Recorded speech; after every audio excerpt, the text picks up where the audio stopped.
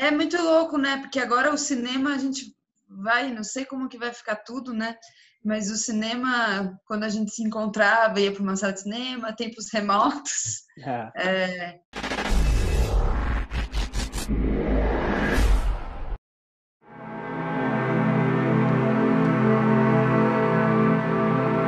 Rio de Janeiro, 21 de dezembro de 1951.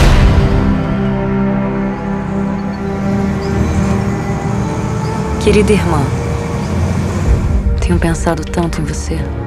Fala galera do Cinepop, hoje estamos aqui com uma presença ilustríssima para conversar um pouquinho com a gente, a atriz Carol Duarte, do sucesso nacional A Vida Invisível. Seja muito bem-vinda, Carol. Obrigada, Pablo. Estou muito feliz de estar aqui. Bom, o motivo desse bate-papo também é por causa da estreia né, do, do filme A Vida Invisível na TV, no Canal Brasil, que é um dos coprodutores do filme, né? E a chance das pessoas que não conseguiram assistir no cinema é, terem a oportunidade de ver esse filme, que foi um, um mega sucesso, né? É, eu estou muito feliz. Esse filme foi filmado em 2018, né? Teve estreia ano passado. E eu acho que vai ser muito bom ele ir para o ar assim, é, de uma maneira mais democrática, né? Então, eu acho que vai ser bem legal para o filme, porque a ideia é que todos assistam, né? A ideia é que o máximo de gente assista filme nacional, que eu acho tão importante. E é curioso isso acontecer nesse momento, né? Que está todo mundo é, confinado, né? Isolado e é, é como se fosse o outro lado da moeda, né? As pessoas já puderam é. conferir o filme quando ele estreou, foi um grande sucesso, muita gente viu no cinema, mas quem não conferiu essa oportunidade perfeita, agora é dia 24, né, no domingo, ele estreia aí, depois vão ter outras reprises também no canal, né? Sim. É muito louco, né? Porque agora o cinema a gente vai, não sei como que vai ficar tudo, né? Mas o cinema, quando a gente se encontrava, ia para uma sala de cinema, tempos remotos. É. É, agora a oportunidade de assistir em casa e também para quem quer reassistir o filme também, né? É Exato. É legal às vezes reassistir. É verdade. É, vou entrar depois nesse, nesse tópico com você do, do cinema, né? Do que vai acontecer com o cinema. Sim. Mas antes eu queria, eu queria falar um pouco sobre a experiência do sucesso desse filme, né? Que ele foi um filme, um, um sucesso estrondoso, né? um dos maiores sucessos de filme brasileiro dos últimos anos. Ele foi sucesso internacional em festivais internacionais, como o Festival de Cannes, e ele foi representante do Brasil, né, para uma vaga no Oscar desse ano. Ele chegou muito perto. Eu acho que em anos recentes talvez tenha sido o filme que mais chegou perto. Então, eu queria saber como você controlou esse, esse furacão, esse tornado que aconteceu na sua vida, assim, com esse filme. O que, que significou para você? Cara, esse foi meu primeiro filme, né? Então acho que o mundo do cinema eu também estou descobrindo agora. Minha formação é muito no teatro. É... Claro, aí depois eu fiz uma novela, uma novela chamada Força do Querer, que eu fiz um personagem chamado Ivan, que tem uma repercussão, assim, né? Que já é um pouco audiovisual e tal. Mas cinema foi a primeira vez. Então, é, quando eu soube que o filme ia estrear em Cannes, eu fiquei super emocionada, porque, óbvio, né? A gente sabe o que é Cannes e o que, o que pode representar para a história do filme. E, e ainda ganhamos um prêmio, o prêmio Certo Olhar, que é um prêmio inédito para o Brasil.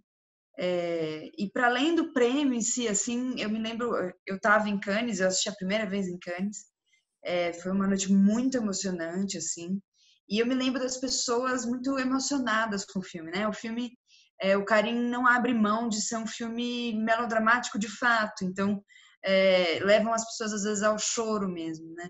Então, eu me lembro da repercussão do filme em Cannes, que foi muito bonita. E depois de Cannes tiveram outros festivais, assim, o filme teve uma carreira internacional muito forte, né? Ganhou, a gente ganhou vários prêmios em Cuba, ganhamos é, na Argentina, ganhamos na Espanha. Então, em vários lugares, assim, o filme foi muito bem aceito, né? A gente é muito jovem, Eurídice. Temos uma vida inteira juntas pela frente. Morro de medo de te esquecer.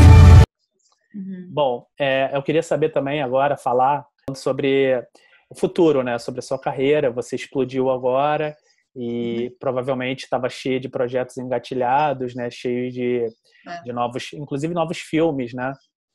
E queria que você falasse um pouco sobre isso, sobre seus projetos futuros e ficou tudo em stand-by, né? Como é que foi para você essa explosão e não poder dar continuidade a essa explosão em outros trabalhos, né? É, o que aconteceu foi. Todo mundo foi pego muito de surpresa, né? Talvez a gente não tivesse tão preparado do que poderia vir a ser essa, essa pandemia, né?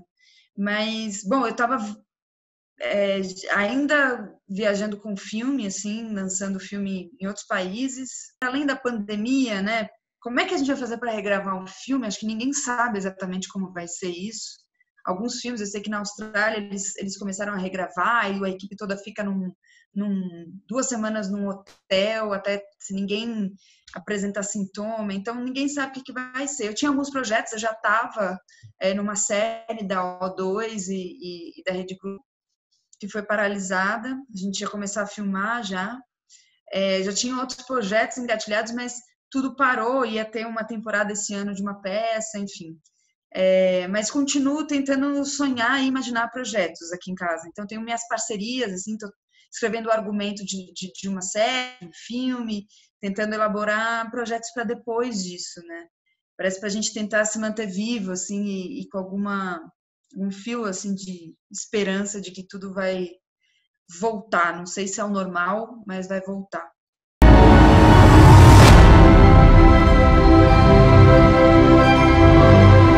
Para finalizar, eu queria perguntar o que você está assistindo, né? A gente está falando sobre pandemia, sobre isolamento social, sobre reclusão.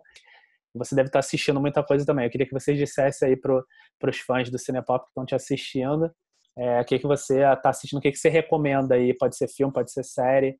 Cara, eu, eu e minha namorada, a gente decidiu fazer uma, uma lista de filmes italianos que a gente gostaria de assistir ou reassistir. Então, eu estou assistindo, sei lá, é, Pasolini ou é, o último filme que eu assisti foi Ladrões de Bicicleta, que é um filme belíssimo, assim.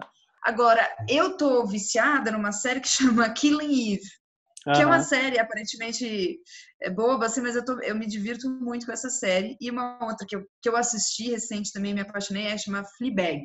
Sim, Fleabag sim. eu indico, é uma excelente série, assim, de uma atriz fantástica, que é a Phoebe, que ganhou vários prêmios essa série. Uhum. É, que mais? As últimas coisas que eu assisti, que eu achei boa. Eu acho que isso. E re, reassistir Central do Brasil, reassistir uhum. Linha de Passe, esses filmes eu gosto sempre de revisitar, assim, que são grandes, grandes filmes, sabe? Sim. Bom, muito obrigado pela sua presença. Vamos chegando Obrigada aqui ao fim. Muito obrigado, foi um prazer.